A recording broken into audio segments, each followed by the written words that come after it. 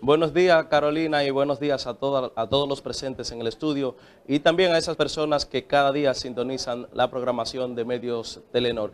En esta ocasión me encuentro en la Junta Electoral del municipio de Las Guaranas acompañado del presidente de dicho órgano. Buen día caballero, ¿cuál es su nombre? Buenos días, Valerio Antonio. Valerio, el candidato alcalde por la Fuerza del Pueblo ha denunciado un sinnúmero de irregularidades. ¿Qué tan real es esto? Obviamente que parece ser que hubieron irregularidades, pero eh, algunas de ellas se corrigieron, como por ejemplo en una, en una acta apareció una diferencia de 40 votos, que eran 42 y nada más le pusieron dos. Ya eso se corrigió. Pero en, el transcurso de, día de hoy vamos a continuar eh, revisando las actas, con las actas originales. Ya en este boletín preliminar, ¿cómo quedaron los resultados? Los resultados, tengo entendido que el candidato del Partido de la Liberación Dominicana en eh, aventaja, me parece que por algunos 34 votos. Esa es la diferencia que se presenta hasta el día de hoy. Eh, ¿Puede mostrarnos, mostrarnos los, datos?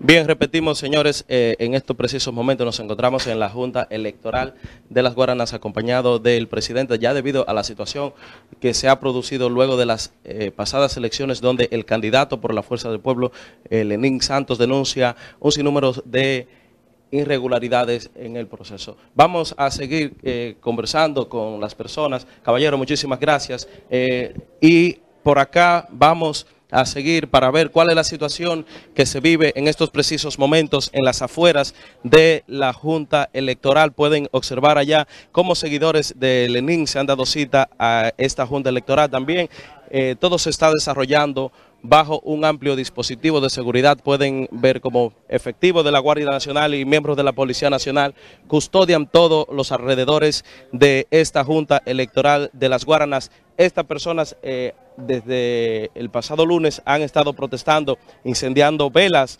en son de reclamo en la periferia de esta Junta Electoral. Pero vamos a conversar con el candidato por la Fuerza del Pueblo, Lenín eh, Campos, quien estará hablándonos más, más detalladamente de la situación. Buen día, Lenín. Estamos en vivo para el programa de mañana. Buenos días, hermano. Un placer siempre tener la oportunidad de dirigirme a cada uno de ustedes. Estamos aquí, eh, como usted decía, eh, en el día de hoy van a tratar de validar las actas, cosa que nosotros nos preguntamos cómo van a validar, van a validar las actas, cuando en las, las actas originales existen inconsistencias número de votos emitidos y cuando tú sumas todos los votos de los partidos no dan los mismos números, entonces sin contar los votos, ¿cómo tú vas a poder validar una acta? ¿Cómo tú vas a tener la seguridad de la cantidad de votos que hubo en esa mesa? E incluso en la única acta que se ha revisado habían 40 votos menos de nosotros. En la única acta que se ha revisado. ¿En las demás actas que ustedes han revisado han encontrado irregularidades? Claro, casi en todas las actas han habido irregularidades. Ellos también eh, tienen conocimiento de eso. E incluso nosotros ya tenemos preparada una instancia para someterla ante el Tribunal Superior Electoral, ¿sabe? para llevar eh, eh, ya este caso a, otro nivel, porque como denunciaba ayer un miembro importante de la Junta, eh, aquí se han dado situaciones donde, donde él dice que llaman personas desde la capital y paralizan el proceso. Aquí se toma una decisión el lunes en horas tempranas de la mañana de contar los votos, recontarlos todos, y luego eh, al mediodía dice que no, que no se van a contar, solo se contaron los votos nulos, luego nos convocan ayer para lo mismo y no se cuentan los votos. ¿Por qué tú entiendes la negativa de que se, que se, que se cuenten los votos? ¿A qué tú crees que se, se debe eso? Bueno, eh, uno no quiere dar opiniones descompuestas porque los miembros de la Junta son personas eh, muy honradas de, de, aquí localmente, pero es que nada teme, que nada debe, nada teme, como dicen. Eh, ¿Qué cuesta aquí lo que son 24 mesas electorales? En 1027 votos, en 1227 votos me parece. Eh, contar esos votos no sería una tragedia del otro mundo. Es cuestión de que tener voluntad de generar tranquilidad en la población. Gracias a Dios nuestros eh, seguidores y los que nos han apoyado han mantenido la cosa de manera tranquila y en paz, que es lo que le estamos exigiendo al pueblo.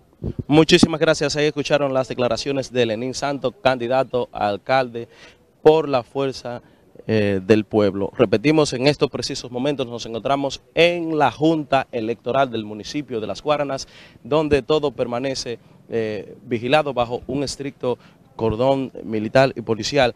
Y eh, seguidores de Lenín Campos se han dado cita acá desde el día de ayer. De mi parte, es todo lo que tengo por el momento. Retorno con ustedes al estudio.